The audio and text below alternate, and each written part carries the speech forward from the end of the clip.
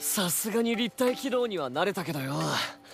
今日の訓練は結構きつかったな。おいおいお前ら。見てられなかったぞ。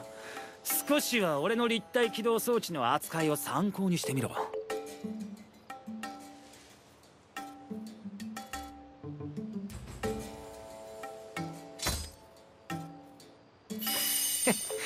ま あ誰にでもできるってわけじゃねえんだろうがな。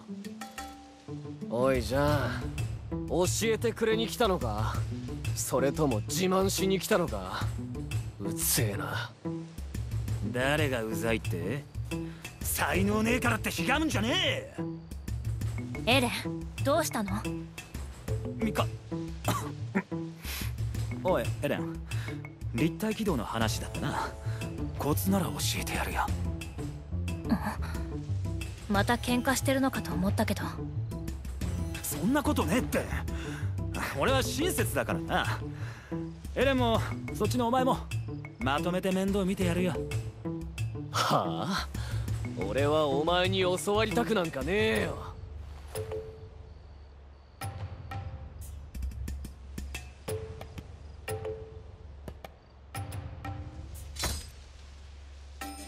そうだなそれがいいな。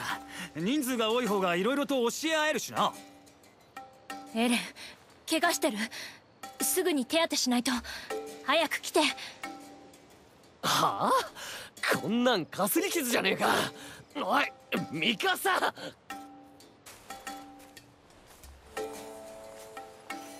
あ？立体軌道だって？そんなの今度でいいだろ